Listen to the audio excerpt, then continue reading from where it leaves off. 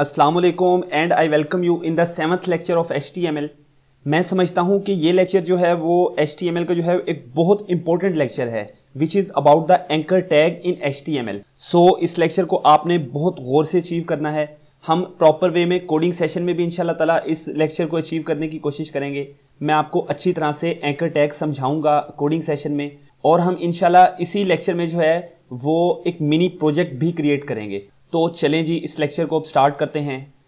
Anchor tag को हम HTML में कनेक्टिविटी पर्पज़ के लिए यूज़ करते हैं। अब ये कनेक्टिविटी पर्पज़ है क्या? मैं आपको अभी समझाने की कोशिश करता हूँ कि आपने जो है वो डिफरेंट वेबसाइट्स विज़िट की होंगी। डिफरेंट वेबसाइट्स तो आप देखते होंगे।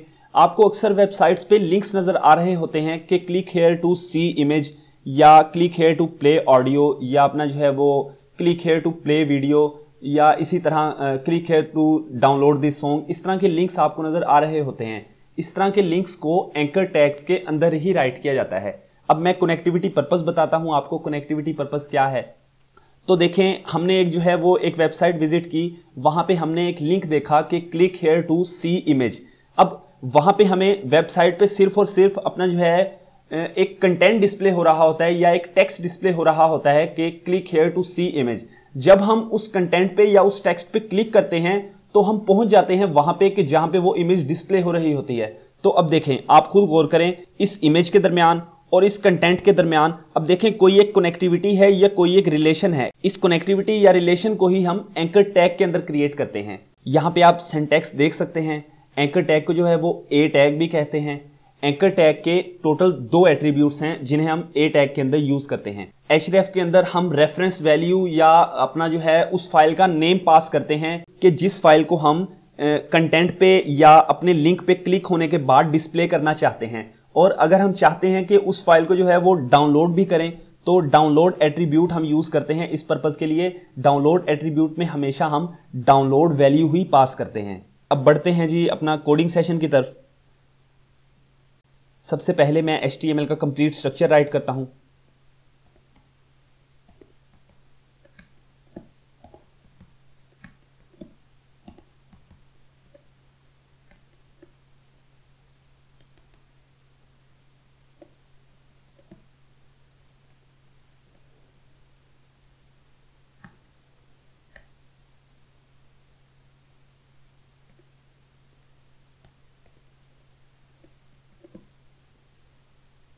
हम अपने वेब पेज का टाइटल डिफाइन कर देते हैं कि एंकर टैग मैंने यहाँ पे टाइटल राइट कर दिया। अब हम जो है बॉडी टैग को स्टार्ट करते हैं।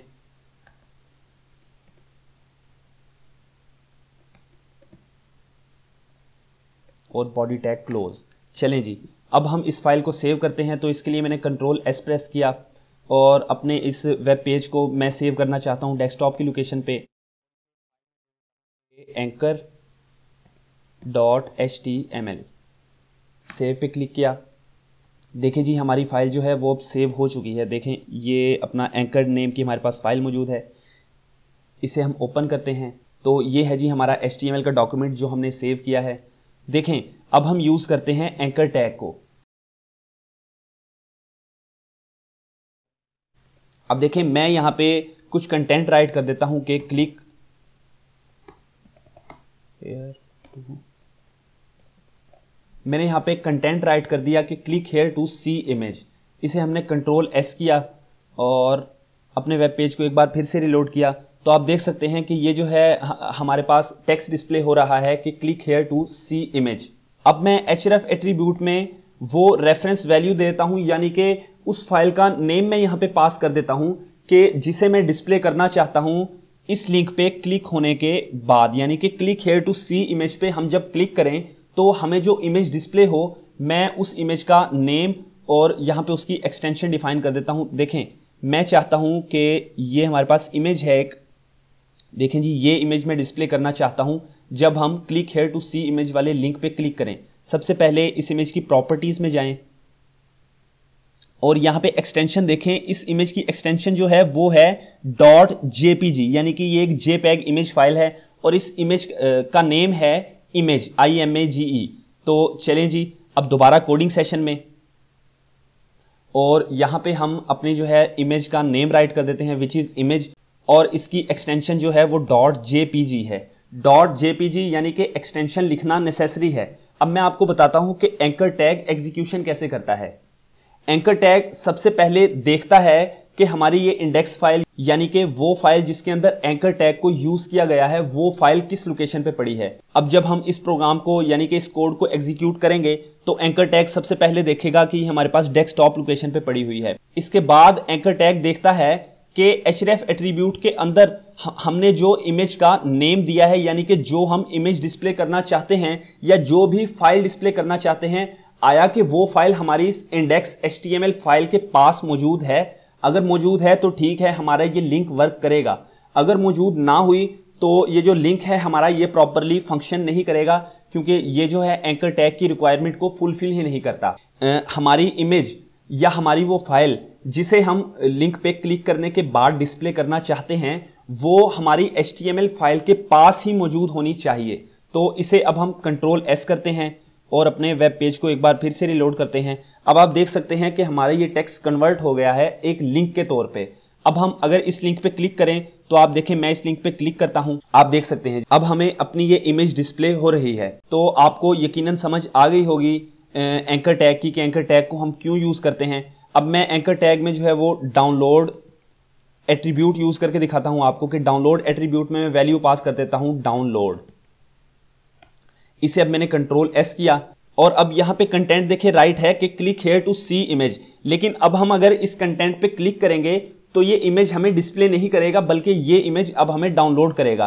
क्योंकि एच एट्रीब्यूट बता रहा है कि हमारे पास ये इमेज डॉट जेपीजी नाम की फ़ाइल है, और डाउनलोड एट्रीब्यूट जो है वो बता रहा है एंकर टैग को कि हमने एच में जो हमारे पास फ़ाइल आ रही है, उस फ़ाइल को हमने डाउनलोड करना है। तो मैं यहाँ पे अब राइट कर देता हूँ कि click here to download image तो यहाँ पे मैंने राइट कर दिया डाउनलोड इमेज सॉरी चलें जी, अपने वेब पेज को एक बार फिर से रिलोड किया। देखें जी, अब हमारे पास लिंक है कि click here to download image अब इस लिंक पे अगर हम क्लिक करें तो देखें आप आप अब ये देख सकते हैं यकीनन कि ये जो फ़ाइल है, अब हमारे पास डिस्प्ले नहीं हुई, बल्कि हमारे पास डाउनलोड हो गई। अब मैं इस फ़ाइल को यहाँ से ओपन करता हूँ। तो अब आप देख सकते हैं कि ये फ़ाइल हमारे पास डाउनलोड हो चुकी है। यकीनन अब आपको एच एट्रीब्यूट के साथ साथ जो है वो डाउनलोड एट्रीब्यूट का भी पता चल गया होगा। मैं यहाँ से डाउनलोड एट्रीब्यूट को एक बार फिर से ख़त्म कर देता हूँ, बल्कि लिखा रहने देते हैं इसे। यहाँ पे जो है, अब हम लाइन को ब्रेक कर देते हैं, ताकि हम नेक्स्ट लाइन पे चले जाएँ। नेक्स्ट जो है, मैं एक दफ़ा फिर से एंकर टैग यूज़ करता हूँ। इसमें हम एक दूसरी फ़ाइल को डिस्प्ले करेंगे। यहाँ पे मैं लिंक राइट कर देता हूँ कि click here to play audio यहाँ पे हमने लिंक राइट कर दिया कि click here to play audio देखें, यहाँ पे ही डेस्कटॉप पे ही हमारे पास एक ऑडियो फ़ाइल भी मौजूद है। जिसका नाम सॉन्ग है, हम इसकी एक्सटेंशन देख लेते हैं। इसकी एक्सटेंशन है हमारे पास डॉट एम पी थ्री अब हम जो है एच एट्रीब्यूट में जो है वो वैल्यू पास कर देते हैं। कि सॉन्ग यानी कि नेम हमारी इस फ़ाइल का, जिसे हम प्ले करना चाहते हैं, और डॉट एम पी थ्री क्योंकि मैंने आपको बताया कि फ़ाइल के नेम के साथ इसकी एक्सटेंशन लिखना भी लाजमी होता है। ये अगर आप नहीं लिखेंगे तो एंकर टैग प्रॉपरली फ़ंक्शन नहीं करेगा। हमने कंट्रोल एस प्रेस किया। और अपने वेब पेज को एक बार फिर से रिलोड किया तो देखें अब हमारे पास जो है वो दूसरा लिंक भी मौजूद है which is click here to play audio चलें अब इस लिंक पे हम क्लिक करते हैं। अगर हम uh, इस फ़ाइल में भी डाउनलोड एट्रीब्यूट पास कर दें तो हम यकीनन इस फ़ाइल को भी डाउनलोड कर सकते हैं। अब मैं लाइन को एक बार फिर से ब्रेक कर देता हूँ और एंकर टैग को एक बार फिर से हम यूज़ करते हैं। इसमें मैं लिंक राइट कर देता हूँ कि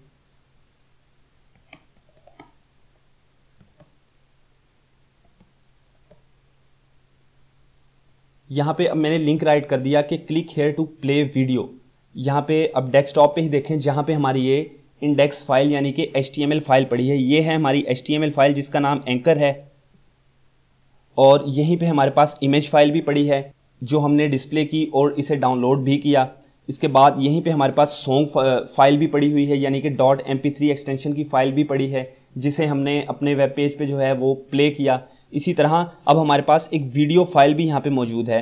प्रॉपर्टीज़ में जाएँ और इसकी एक्सटेंशन आप देखें कि इसकी एक्सटेंशन है डॉट एम पी फोर तो और इसका नेम है वीडियो अब हम एच में रेफरेंस वैल्यू पास कर देते हैं जी, के वीडियो यानी कि फ़ाइल का name dot M P four file की एक्सटेंशन इसे अब एक बार फिर से हम सेव करते हैं, यानी कि कंट्रोल एस प्रेस करके हमने सेव किया। और अपने वेब पेज को दोबारा से रिलोड किया। देख सकते हैं, अब आपके, हमारे पास तीसरा लिंक यानी कि थर्ड लिंक भी मौजूद है which is click here to play video अब मैं इस लिंक पे क्लिक करता हूँ।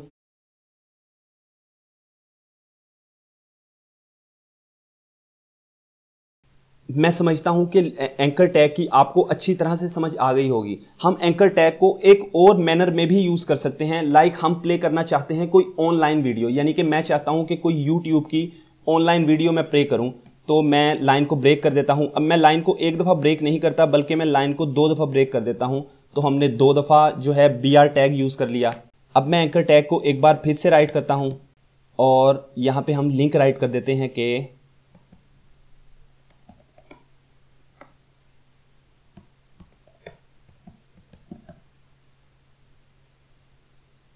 अब मैं चाहता हूँ कि ये YouTube से एक ऑनलाइन वीडियो उठाए और जैसे ही मैं इस लिंक पे यानी कि click here to play online video पे क्लिक करूँ तो हमारे पास वही यूट्यूब वाली वीडियो जो है वो ऑनलाइन प्ले होने लग जाए।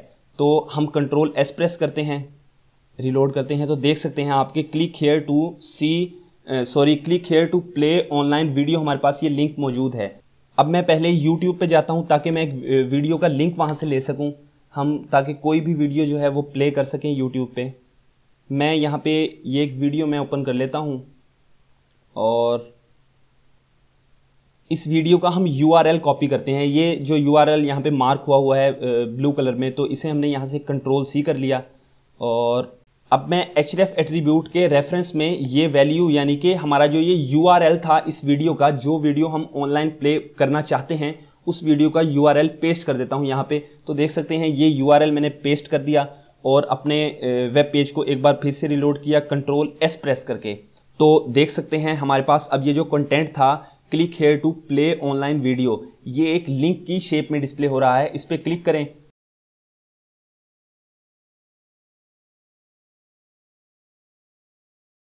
अब आपको यकीनन एंकर टैग की बहुत अच्छे तरीके से समझ आ गई होगी कि एंकर टैग को क्यों यूज़ किया जाता है। और हम किन किन जगहों पे या किन किन सिचुएशंस में एंकर टैग को यूज़ कर सकते हैं। अब हम बढ़ते हैं अपने मिनी प्रोजेक्ट की तरफ़। मैंने आपको अभी बताया था। तो ये एक आसान प्रोजेक्ट है वेरी सिंपल प्रोजेक्ट है। पाँच दस मिनट का टोटल प्रोजेक्ट है ये। आपको इस प्रोजेक्ट की मदद से इस बात का पता चल जाएगा कि हमारी वेबसाइट के मेन पेज के साथ सब पेजेस किस तरह कनेक्ट होते हैं। अब इस बात की शायद आपको समझ ना आई हो कि मैंने जो वेब पेज और मेन पेज की बात की है। तो इसे समझाने के लिए मैं अपनी जो है उर्दू आई टी अकेडमी की वेबसाइट को ओपन करता हूँ। आप ज़रा समझें।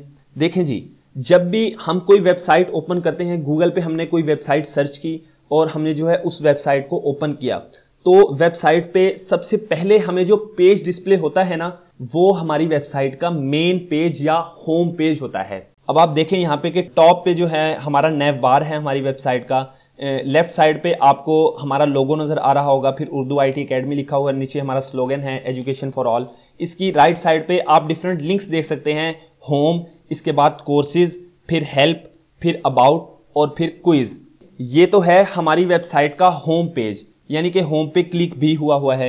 होम को आप देख सकते हैं, ये रेड कलर का है, इसका मतलब यहाँ पे क्लिक हुआ हुआ है. अब अगर मैं जो है इस लिंक पे क्लिक करता हूँ तो आप अभी देखिएगा चले मैं अबाउट पे क्लिक करता हूँ. तो अब जो है हमारे पास ये अबाउट वाला पेज ओपन हो चुका है। अब ये होम वाला पेज नहीं है। ये जो डिफरेंट पेजेस हैं हमारे पास, यहाँ पे कोर्सेज हो गया हेल्प हो गया अबाउट हो गया क्विज हो गया, ये हमारी वेबसाइट के सब पेजेस हैं। और ये जो हमारा होम पेज है हमारी वेबसाइट का, ये हमारी इस वेबसाइट का जो है मेन पेज है। इस होम पेज के साथ ही हमने अपनी वेबसाइट के डिफरेंट सब पेजेस जो हैं, यानी कि कोर्सेज का पेज हेल्प का पेज अबाउट का और क्विज का, ये जो पेजेस हैं इन्हें हमने अपनी वेबसाइट के होम पेज के साथ ही कनेक्ट किया है। अब हम जो है, इस चीज़ पे अपना प्रोजेक्ट बनाएँगे कि मैं एक छोटा सा हम वेब पेज डिज़ाइन करेंगे मेन पेज यानी कि होम पेज अपनी वेबसाइट का बनाएँगे, फिर उसके साथ हम डिफरेंट चार या पाँच सब पेजेस लिंक करेंगे अपने होम पेज के साथ। तो इसके लिए हम अपनी ये जो है एंकर वाली कोडिंग इसे डिलीट कर देते हैं हम, और इन फाइल्स को भी चले, हम डिलीट कर देते हैं, इनकी भी ज़रूरत नहीं है कोई हमें। तो हम नोट पैड को एक बार फिर से ओपन करते हैं। यहाँ पे मैं एच का कंप्लीट स्ट्रक्चर एक बार फिर से राइट करता हूँ।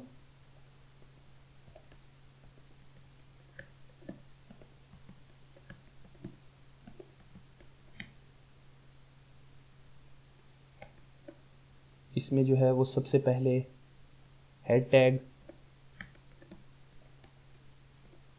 यानी कि हेड एलिमेंट क्योंकि मैंने आपको बताया था कि अगर हमारे पास स्टार्टिंग टैग भी मौजूद हो क्लोजिंग टैग भी मौजूद हो, और अपना जो है दरमियान में कंटेंट भी मौजूद हो तो उसे एक एलिमेंट कहते हैं। हम अपने इस वेब पेज को नेम दे देते हैं कि प्रोजेक्ट वन हमारे इस वेब पेज का टाइटल हो गया जी प्रोजेक्ट वन अब बॉडी टैग स्टार्ट करते हैं, और हम फिर बॉडी टैग को क्लोज कर देते हैं। ये हमने बॉडी टैग को क्लोज कर दिया। चले जी, अब अपनी इस फ़ाइल को हम सेव करते हैं कंट्रोल एस प्रेस करते हैं और मैं इसे डेस्कटॉप की लोकेशन पे सेव करना चाहता हूँ। किस नाम से जी? मैं इसे सेव करता हूँ प्रोजेक्ट के नाम से। नहीं, मैं इसे सेव करता हूँ इंडेक्स के नाम से। Index dot H T M L क्योंकि ये हमारा मेन वेब पेज है और हमने इस वेब पेज के साथ डिफरेंट सब पेजेस लिंक करने हैं। तो अब इसे हम सेव कर लेते हैं। अपने वेब पेज को अब हम ओपन कर लेते हैं। तो आप देख सकते हैं हमारा वेब पेज अब जी हम एंकर टैग को यूज़ करते हैं। तो एंकर टैग को राइट किया। और यहाँ पे सबसे पहले जो मैं लिंक राइट करता हूँ, वो है होम मैं यहाँ पे अभी एच रेफ एट्रीब्यूट में कोई भी वैल्यू पास नहीं करता। और इसके बाद जो है, हम इस लिंक को कॉपी कर लेते हैं। यहाँ पे इसे पेस्ट कर दिया। One time two three four five. आप काइंडली इन्हें जो है कॉपी पेस्ट ना कीजिएगा, जैसे मैंने किया है। मैंने तो टाइम कंज्यूमिंग से बचने के लिए इन्हें कॉपी पेस्ट किया है। आप इन्हें प्रॉपरली राइट कीजिएगा। इस तरह से आप एंकर टैग को ज़्यादा बेहतर तरीके से समझ पाएँगे। इसके बाद मैं लिंक राइट कर देता हूँ कि courses help about quiz courses C O U R courses के बाद हेल्प हेल्प के बाद जी अपना अबाउट और अबाउट के बाद क्विज इसे अब कंट्रोल एस प्रेस करते हैं जी। और अपने वेब पेज को एक बार फिर से रिलोड करते हैं। अब मैं यहाँ पे एक और इम्पोर्टेंट एक्टिविटी परफॉर्म करूँगा इन टैग्स के अंदर ही। मैंने आपको इंटरनल स्टाइल शीट के बारे में अच्छी तरह से पढ़ाया था। मैंने आपको बताया था कि हम डिफरेंट सीएसएस की प्रॉपर्टीज़ यूज़ करेंगे इस एच के कोर्स में भी। क्योंकि इस तरह से आप सीएसएस जब हम स्टार्ट करेंगे तो आप सीएसएस को ज़्यादा बेहतर तरीके से अंडरस्टैंड कर लेंगे। मैंने आपको ये बताया था कि हम जैसे जैसे जो जो प्रॉपर्टी यूज़ करते रहेंगे, उस उस प्रॉपर्टी के बारे में मैं आपको बताता रहूँगा। आज जिस प्रॉपर्टी को हम यूज़ करेंगे, वो है सीएसएस में यूज़ होने वाली एक बहुत important property which is margin property margin property आपको नाम से ही पता चल रहा है कि अगर हम किसी कंटेंट को मार्जिन देना चाहते हैं तो हम मार्जिन प्रॉपर्टी की मदद से मार्जिन दे सकते हैं। मार्जिन प्रॉपर्टीज़, हमारे पास टोटल चार प्रॉपर्टीज़ हैं, margin top, margin bottom, margin right and margin left. अगर हमारे पास कोई कंटेंट किसी जगह पे डिस्प्ले हो रहा है, मैं चाहता हूँ कि ये टॉप से थोड़ा सा नीचे वाली साइड पे आ जाए तो मैं मार्जिन टॉप प्रॉपर्टी है जो सीएसएस की, इसमें वैल्यू पास कर दूँगा 50 पिक्सल्स इसकी मदद से वो जो हमारा कंटेंट है, वो टॉप से 50 पिक्सल्स नीचे की तरफ़ आ जाएगा। इसी तरह मैं अगर कोई कंटेंट को नीचे से ऊपर वाली साइड पे कन्वर्ट करना चाहता हूँ तो मैं मार्जिन बॉटम में वैल्यू पास कर दूँगा 50 पिक्सल्स इस तरह जो कंटेंट हमें निचली साइड पे डिस्प्ले हो रहा है, वो 50 पिक्सल्स ऊपर की साइड पे चला जाएगा। आई थिंक मार्जिन प्रॉपर्टी का भी अब आपको पता चल गया होगा। इंटरनल स्टाइल शीट में हम सबसे पहले स्टाइल एट्रीब्यूट राइट करते हैं। मैंने आपको ये अच्छी तरह से समझाया था। मैंने आपको ये भी बताया था कि स्टाइल एट्रीब्यूट की मदद से हम किसी भी एच के एलिमेंट में सीएसएस की प्रॉपर्टीज़ को इंप्लीमेंट कर सकते हैं। तो मैं यहाँ पे प्रॉपर्टी राइट कर देता हूँ। आपको प्रॉपर्टी का सेंटेक्स भी अच्छी तरह याद होगा। मैं चाहता हूँ कि अपने इस कंटेंट को राइट साइड से सॉरी लेफ़्ट साइड से राइट साइड पे डिस्प्ले करूँ। तो मैं मार्जिन लेफ़्ट की प्रॉपर्टी पास कर देता हूँ। मैं चाहता हूँ कि ये लेफ़्ट साइड से जितनी मैं वैल्यू पास करूँ, उतने पिक्सल्स राइट साइड पे चला जाए। तो मार्जिन लेफ़्ट जो है प्रॉपर्टी पास कर देता हूँ। इसके बाद कॉलन और यहाँ पे अब मैं वैल्यू पास कर देता हूँ। जितने पिक्सल्स मैं चाहता हूँ कि अपना जो कंटेंट है, मैं राइट साइड पे ले जाऊँ तो मैं चाहता हूँ ट्वेंटी पिक्सल्स इसे मैं राइट साइड पे ले जाऊँ। यानी कि कोर्सेज नाम का हमारा जो अब लिंक है, इसे मैं 20 पिक्सल्स लेफ़्ट साइड से राइट साइड पे डिस्प्ले करूँगा। तो इस वेब पेज को अब हम कंट्रोल एस करते हैं, यानी कि सेव करते हैं और अपने वेब पेज को एक बार फिर से रिलोड करते हैं। अब आप देख सकते हैं कि कोर्सेज नेम का हमारा जो लिंक था वो 20 पिक्सल्स लेफ़्ट से राइट साइड पे कन्वर्ट हो चुका है। अब मैं चाहता हूँ कि हमारी ये स्टाइलिंग जो मैंने कोर्सेज नाम के लिंक पे अप्लाई की है, यही स्टाइलिंग मैं अपने बाकी लिंक्स पे भी अप्लाई करूँ। यानी कि मैं इसे हेल्प नेम के लिंक पे भी अप्लाई करूँ अबाउट नेम के लिंक पे भी अप्लाई करूँ और इसे क्विज नेम के लिंक पे भी अप्लाई करूँ। तो यहाँ से हम इसे कॉपी कर लेते हैं।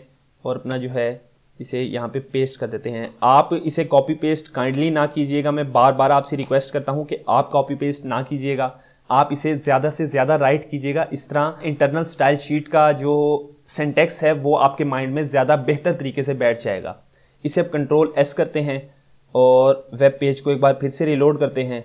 तो अब आप देख सकते हैं कि हमारे इन सारे लिंक्स में अब 2020 पिक्सल्स का जो है, वो मार्जिन है, क्योंकि हमने इन सारे लिंक्स के अंदर जो है, वो मार्जिन लेफ़्ट की प्रॉपर्टी पास की है। मैं चाहता हूँ कि जब मैं कोर्सेज वाले लिंक पे क्लिक करूँ तो मैं चला जाऊँ कोर्सेज वाले सब पेज पे। जब मैं हेल्प वाले जो है लिंक पे क्लिक करूँ तो मैं चला जाऊँ हेल्प वाले वेब पेज पे। इसी तरह अबाउट पे क्लिक करूँ तो अबाउट वाले वेब पेज पे चला जाऊँ, यानी कि सब पेज पे। अगर मैं क्विज पे क्लिक करूँ तो क्विज वाले सब पेज पे मैं चला जाऊँ। तो इसके लिए ज़रूरी है कि इन सब पेजेस को भी हम अभी क्रिएट करें। तो इन्हें हम क्रिएट करते हैं। मैं यहाँ पे जो है अपना एच वन टैग में कुछ कंटेंट को लॉक कर देता हूँ। यानी कि मैं यहाँ पे कंटेंट राइट कर देता हूँ कि दिस इज़ कोर्सेज पेज इसे कंट्रोल एस किया और इसे हम कोर्सेज डॉट एच के नाम से सेव कर देते हैं। अब हमने एक और वेब पेज हम क्रिएट करते हैं। इस पेज को मैं नेम दे देता हूँ कि help page this is help page इसे अब कंट्रोल एस किया और इसे हम help dot H T M L के नेम से सेव करते हैं। और अब यहाँ पे हम एक और पेज क्रिएट करते हैं। इसे मैं नेम दे देता हूँ जी कि दिस इज़ अबाउट पेज इसे कंट्रोल एस प्रेस करते हैं और यहाँ पे हम नेम दे देते हैं कि about dot H T M L इसे सेव करते हैं। अब हम लास्ट अपना पेज क्रिएट करते हैं, जिसका नाम है जी हमारे पास क्विज पेज तो अब हम अपने सारे सब पेजेस को क्रिएट कर चुके हैं। इसे हम नाम दे देते हैं कि quiz dot H T M L sorry quiz देना था क्विक दे दिया। चलें जी quiz dot H T M L इसे मैं सेव करता हूँ। देखें जहाँ पे हमारे पास हमारी इंडेक्स फ़ाइल मौजूद है वहीं पे हमारे पास आ, हमारे बाकी सब पेजेस भी मौजूद हैं। क्योंकि मैंने आपको बताया था कि जब मैं रेफरेंस में वैल्यू पास करता हूँ एंकर टैग के अंदर तो इसके लिए ज़रूरी होता है कि जहाँ पे हमारे पास इंडेक्स फ़ाइल हमारी मौजूद हो यानी कि जिस फ़ाइल के साथ हमने दूसरी फाइल्स को कनेक्ट करना है, वो फ़ाइल हमारे पास जहाँ पे मौजूद हो, वहीं पे इंटरमीडिएट फाइल्स भी मौजूद होनी चाहिए। वो सब पेजेस भी वहीं पे मौजूद होने चाहिए, जिन्हें हमने अपने मेन पेज के साथ कनेक्ट करना है। अब हम अपने मेन पेज यानी कि इंडेक्स पेज की कोडिंग में जाते हैं। देखें जी, मैं चाहता हूँ कि जब हम कोर्सेज पे क्लिक करें तो कौन सा पेज खुल जाए? जी, हमारे पास कोर्सेज पेज कोर्सेज नेम का हमारे पास एक पेज मौजूद है। इसकी एक्सटेंशन क्या है? इसकी एक्सटेंशन हम अभी देख लेते हैं कि हमारे पास पेज का नेम है कोर्सेज और इसकी एक्सटेंशन है. Dot H T M L क्योंकि ये एक एच फ़ाइल है, इसीलिए इसकी extension dot H T M L है। इसका नेम है कोर्सेज तो हम जी अपना यहाँ पे courses dot H T M L write कर देते हैं। इसे कंट्रोल एस कर देते हैं। अब मैं चाहता हूँ कि हेल्प वाले लिंक पे हम जब क्लिक करें तो हम हेल्प वाले पेज की तरफ़ बढ़ जाएँ। तो हमारे पास एक पेज है सब पेज है help dot H T M L इसी तरह हमारे पास पेज है जी about dot H T M L तो मैं चाहता हूँ कि जब हम अबाउट वाले अपने लिंक पे क्लिक करें तो हम अबाउट वाले सब पेज की तरफ़ स्विच कर जाएँ। तो about dot H T M L name का हमारे पास सब पेज मौजूद है। इसी तरह अब मैं चाहता हूँ कि जब हम क्विज़ वाले लिंक पे क्लिक करें तो हम अपने क्विज़ वाला जो हमारा सब पेज है, हम उस सब पेज की तरफ़ स्विच कर जाएँ। तो मैं यहाँ पे quiz dot H T M L write कर देता हूँ। अब मैं कंट्रोल एस प्रेस करता हूँ और अपने वेब पेज को जी एक बार फिर से रिलोड करते हैं।